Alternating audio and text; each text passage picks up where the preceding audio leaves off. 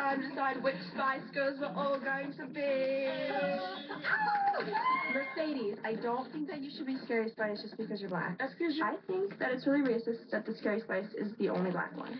Marley should be Posh Spice because you're so skinny and you make everyone uncomfortable.